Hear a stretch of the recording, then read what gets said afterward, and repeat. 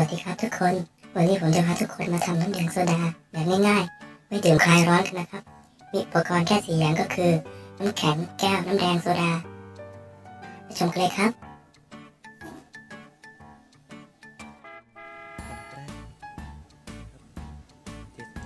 อันดับแรกนะครับ เปิดโซดากก่อนจากนั้นเทโซดาลงไปในแก้วหนึ่งส่วนสามของแก้วนะครับ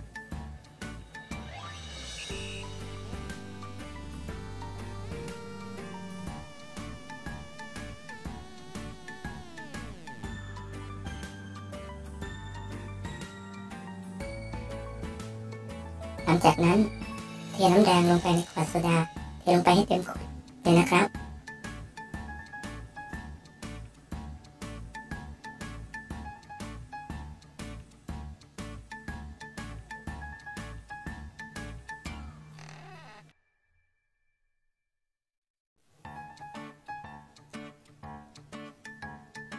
หลังจากนั้นนะครับ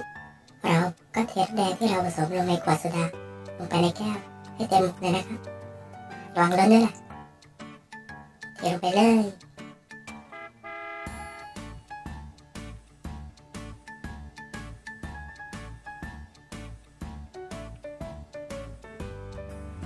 หลังจากนั้นเรามาลองชิมรสชาตินะครับ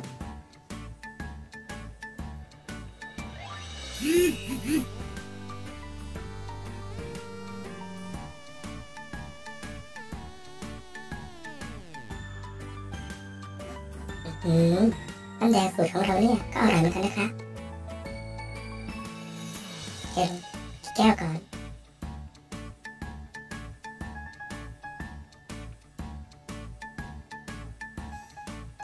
สุดยอดไปเลย